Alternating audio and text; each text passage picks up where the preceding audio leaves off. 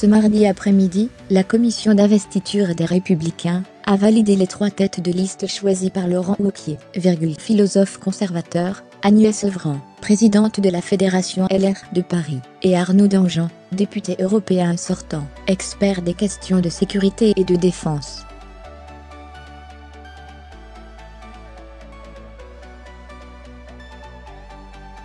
La salle était acquise au président des Républicains, la quarantaine de cadres du parti présent ont parlé d'une même voix. En tout cas, ça fera une bonne photo, s'est exclamée Valérie Debord, vice-présidente de la région Grand Est, adjointe au maire de Nancy.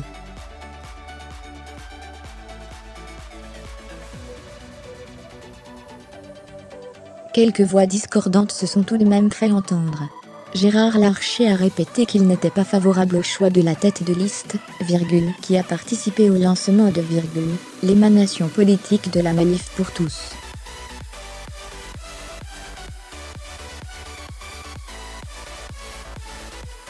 Si cette partie de notre famille politique existe et est importante, elle n'est pas majoritaire, a fait valoir le président du Sénat, qui n'a pas pour autant entamé de rupture avec la direction de son parti.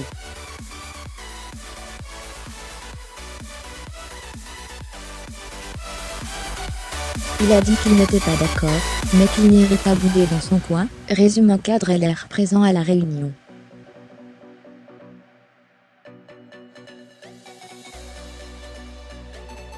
Malgré les protestations dans son camp, Laurent Wauquiez a maintenu son choix de tête de liste.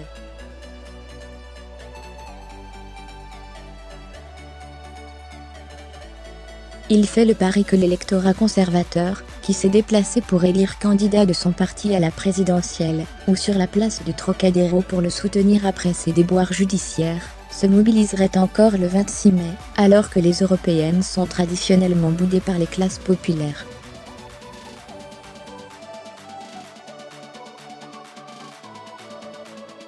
Lire aussi qui n'aime pas Dangean, pour calmer les ardeurs des contestataires, en particulier de Gérard Larcher et de Bruno Retailleau, il a placé Arnaud Dangean, qui avait soutenu Alain Juppé pendant la primaire, numéro 3 sur la liste.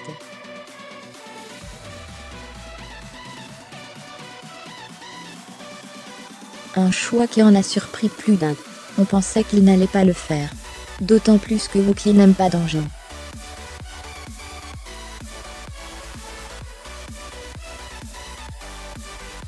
Il le trouve prétentieux. Ça veut dire qu'il a quand même senti un vrai besoin de rassemblement. S'enthousiasme un élu républicain d'envergure.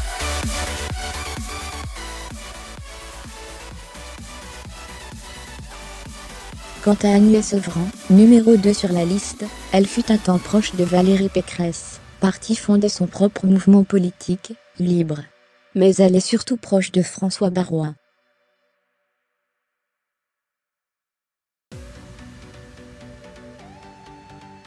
Une manière pour Wauquiez de se protéger de ce rival potentiel. Ceux qui pensent que Laurent Wauquiez peut être fragilisé aux européennes pensent que Barouin peut être un recours.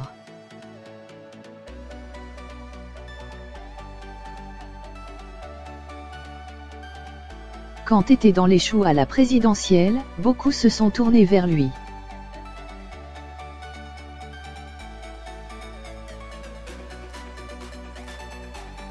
Ce sera plus compliqué pour Barouin de dire que le résultat est mauvais si Evren est numéro 2.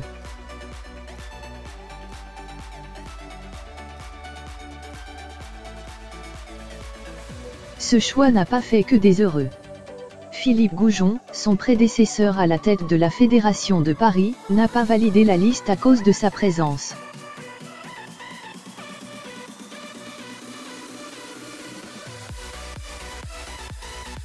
Elle n'a fait que 51% des voix au second tour lors de l'élection pour la présidence de la Fédération de Paris.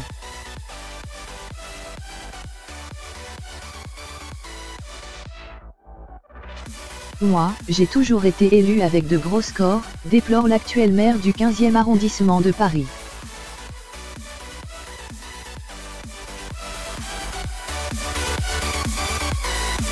Ménager la sensibilité de Nicolas Sarkozy-Pierre Charon, sénateur du 15e arrondissement de Paris, n'a pas non plus validé la liste.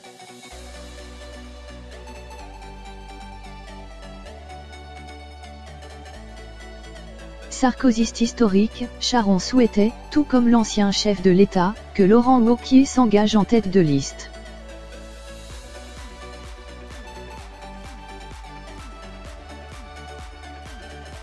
Autre motif de désaccord entre le nouveau chef du parti et son prédécesseur, la place des sarkozystes sur la liste.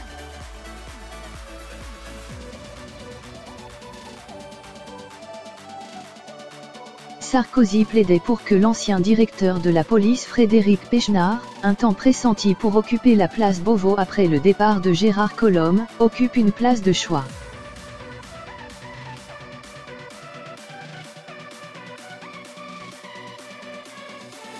Laurent Wauquiez a tout de même pris soin de ménager la sensibilité du dernier, winner, de la droite, qui reste une star chez les militants.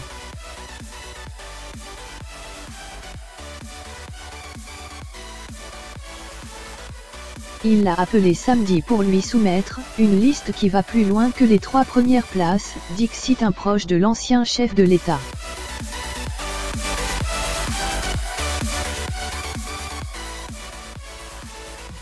Et Brice Hortefeux et Nadine Morano, deux autres sarkozystes historiques, ont de bonnes chances de figurer pas trop loin du trio de tête.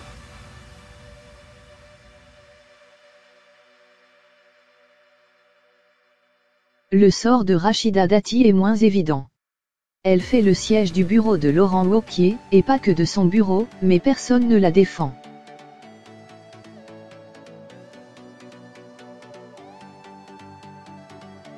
Elle récolte ce qu'elle a semé, ironise un cadre parisien. Mais, quelles que soient les têtes de liste, seul Laurent Wauquiez sera jugé coupable d'un mauvais score aux européennes.